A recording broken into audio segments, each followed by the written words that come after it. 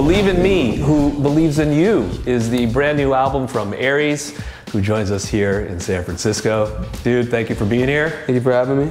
This is quite the momentous occasion, the first show of your big tour. Yeah. Quite exciting. This is a tour that has been a long time coming. How are you feeling right now? I feel great. I feel uh, well rested, you know. Two years rested. Um, yeah, two years rested. Um, it's almost like a mental thing, you know, how boxers will do ghost boxing, you know, they're fighting against, or shadow boxing. It's basically like that. I'm at home just hyping myself up right in here. Well, you clearly weren't just sitting around doing nothing. You Yeah. created this great album that you released late last year. Congratulations on that. Thank you. Was there a particular moment that helped to inspire that particular moment of, oh, I'm onto something here?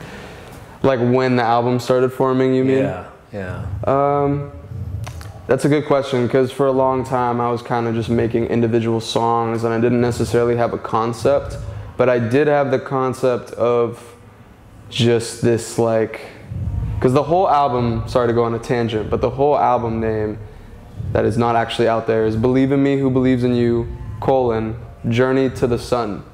So I left out the Journey to the Sun part, but um, yeah, I kind of just had this like, I've always kind of had this sun aesthetic, I would say, like in my earlier music that's not released publicly. But um, yeah, I kind of use this sun imagery and aesthetic, so to say, as um, yeah, the fuel, the fuel for this music. And once I started really seeing the pieces kind of just appear themselves, I, all I did was just apply the glue a little bit and an album formed. Now, this is very telling for which how you approach music, very much in the visual sense. And with this particular album, the cover was kind of the catalyst and, and, and a part of that, right? It started off Yeah. as a photo, Yeah, yeah, yeah. and from that, you created the artwork for Mm-hmm. the album and emphasized the sun, like you just talked about. Sure, yeah, yeah. Um, I have the sketchbook actually at home. I mean, I wouldn't have brought it here because I'm on tour now, but um, I have the sketchbook at home where basically every single thing that I've photographed or like drawn out, I've photographed and I put in like Photoshop. Everything for this whole album is in this like sketchbook. I got to do something with it. I got to like um, turn it into like a book that people can I don't know see Yeah. online or buy or something. We've heard other artists talk about how color comes into play in creating the music, the sonics of it, right? Yeah. And you just emphasize how the sun played an integral part of this. Would you categorize the music on this album as joyful and happy, or I feel like there are moments where it's not? Um, it is, yeah. I, I think I think uh, that's pretty accurate to say that there's moments where it does feel joyful and uplifting, and then there's moments where it does feel like somber and uh, nostalgic and just kind of like yearning for the past kind of thing. Um, has all that in there. That's like not really doing it justice, just putting it in that way. But yeah, just What is it about the sun that really gravitates you toward creating art and revolving around that? Yeah, so I mean, the sun for me, um, it's a lot of things. I mean, I grew up very much reclusive.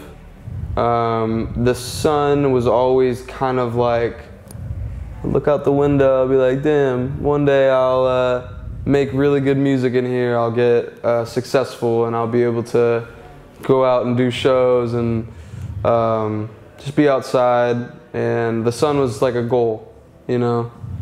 The sun was like a goal for me. It's really interesting because you grew up in Southern California, and uh, for the most part, right, the Southern California lifestyle Yeah. involves a lot of outdoor activity and those kind of things. Were you not a surfer, a skateboarder, uh, active? I was very much an anxious homebody, I would say. Any particular reason for that? Because as a youth, there's a lot of activity for which you can create uh, a, a space for yourself, uh, an opportunity for you to kind of get your feelings out, right?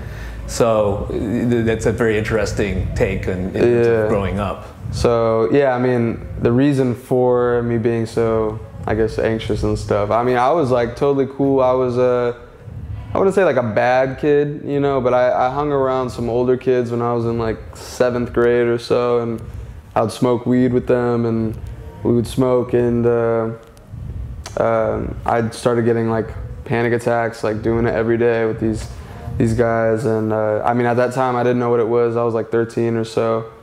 Um, Wow, 13 years old. 13, yeah. Smoking weed. Smoking weed, and uh, it's funny. Like I would, I would tell my mom, like, "Yo, I feel something like in my heart." I didn't tell her I smoked weed at the time, but like I'd, I'd be like, "Yeah, there's something like I feel like just off," you know. Because I before then it was just I was living like a very ignorant, a, a blissfully ignorant life that a kid should live, you know. Yeah. Um, but yeah, that turned me very. I just became very anxious, and I didn't really want to leave my house that often. Like I, I stopped hanging out with friends just because I was scared I would have like a panic attack on the way over to like a friend's house that I would go to all the time.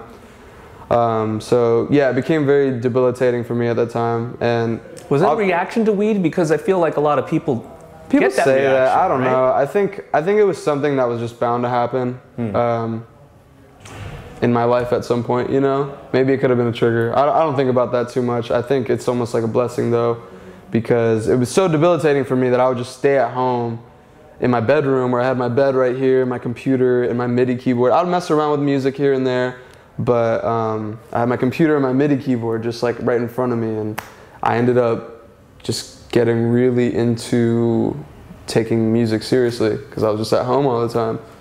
So But it really didn't affect your personality because you were still driven, Yeah. making YouTube videos about how to mimic or how, how songs were Sure. made and, and breaking them down and those kind of things, and Sure. really established yourself as a personality online. yeah, So, taking that experience, was that a way for you to come back into the real world and doing this tour?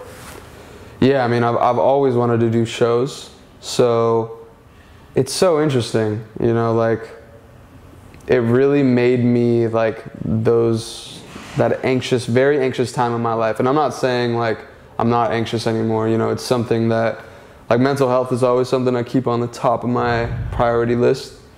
You know, as everybody should. Um, yeah, it's uh, it's just something that